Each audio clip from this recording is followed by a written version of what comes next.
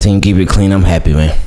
I'm really happy. I'm happy in life, but with this, I'm happy because this is the week that we finally get some answers to whatever the, the Ravens' next move is going to be with Lamar Jackson. Because literally, um, every single day, it seems like every single day, ever since the season officially ended, after the Chiefs won their second Super Bowl, um, it seems like every single day it's been a new story, a new report, a new rumor, a new this, a new that. And a lot of stuff actually hasn't even really been new stuff. A lot of it has been thoughts and projections and uh, and guesstimates.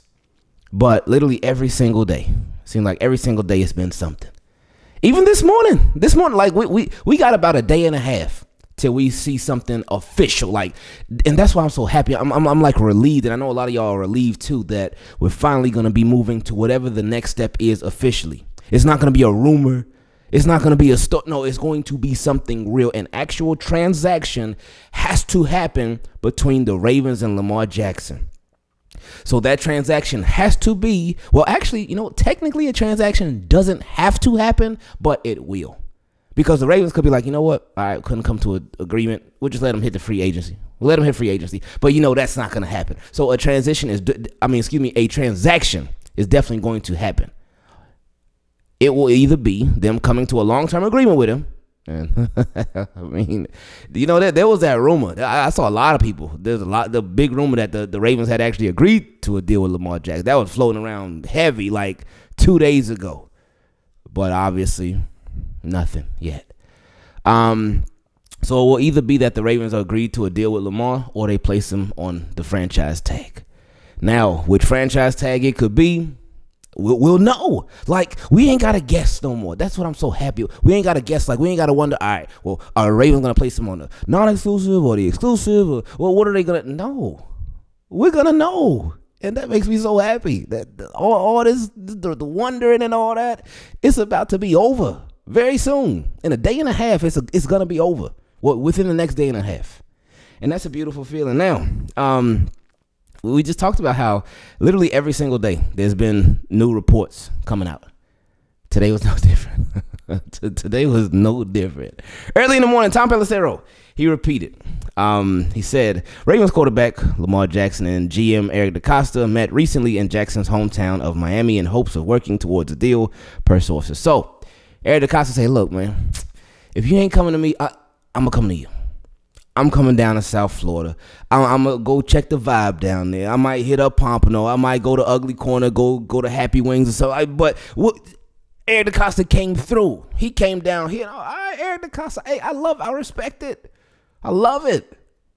So I, I, I love the the effort.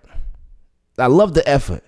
Cause if he came down here like really trying to get something done, I'm, uh, hey, then that, that shows you really you really want to get this thing done. You really trying to make something happen. So I respect it. I really do. So shout out to Eric DeCosta for that. But then the next part of that report says, but after more than a year of negotiations, the sides remain apart. The situation appears headed toward a franchise tag Tuesday. So, again, that report, it's like, I mean, it's cool information. So Eric DeCosta came down here, but again, it's not anything really new. So, but again, he's trying. But we've heard that already that the Ravens are trying. And Lamar, they they going back and forth talking. Uh, but still, obviously, nothing yet. So, shout out to Adam Schefter. Adam Schefter got a lot of people the other day with him trolling, talking about Lamar uh, being traded to Washington. I mean, I felt like everybody should have known, like from the jump, that that was a troll.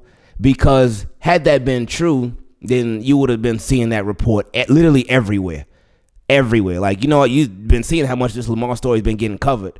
Like you would have been seeing that report literally every single where from every single reporter, every single body. So that's how I figured people knew it was a troll, but a lot of people did not know that it was a troll.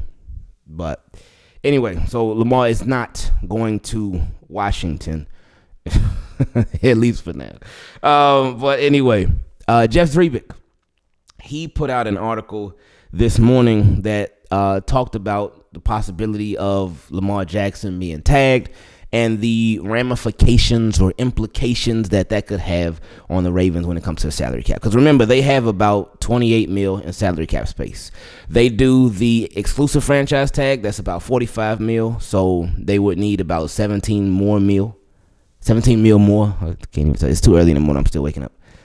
And if they do the non-exclusive, then they would need about four mil more. So again, Ravens got some decisions to make, but again, I'm so happy because those decisions will be made within the next day and a half. Again, no more wondering.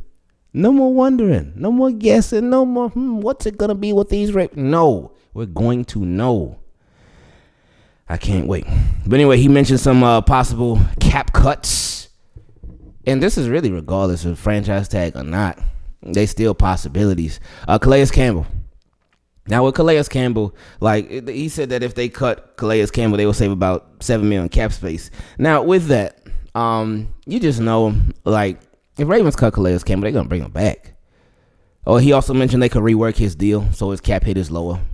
Either way, I, I, I see no scenario at all where Calais Campbell is not a Baltimore Raven. He's just one of them players that you know the team loves, and they're not gonna let him go anywhere. Now, like we said before in the video where Calais Campbell announced that he's coming back for a 16th year, so eh, Ravens cannot, they can't solely rely on him.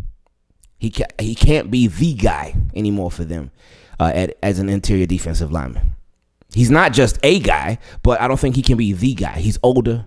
He gets tired more. He can still make some plays here and there, but he cannot be their primary guy, in my opinion. This is just my opinion. Young guys got to step up. But again, another conversation for another day. Um, he also mentioned uh, Gus Edwards, potential cap cut. And, and, you know what's crazy? A lot of people have been saying that like during the season. Not that they were going to cut Gus Edwards during that last season, but that the following year that he could possibly be traded or cut. And I was thinking like, no, but yeah, it's a real possibility. Um, and that could save 4.4 mil. Uh, Devin Duvernay.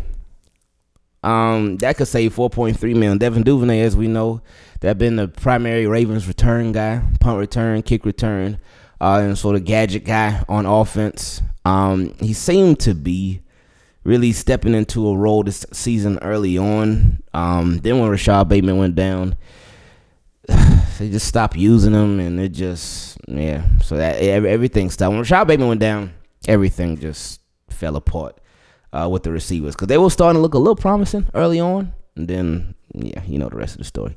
Uh, Michael Pierce, they could say 2.1 mil there.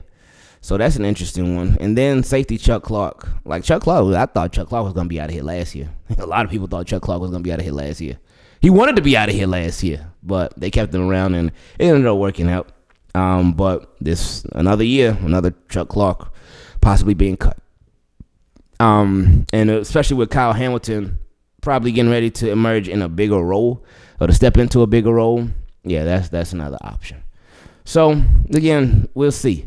Um, again, but so much like we'll we'll officially be able to really look at those potential cap cut scenarios and whatnot. We'll be able to look at those a lot more deeper because over the next day and a half, we'll know whether it's going to be a deal, a long term deal. I doubt it, but or it's gonna be a franchise tag, and if it is the franchise tag, then we'll know which one he'll have within the next day and a half. We out.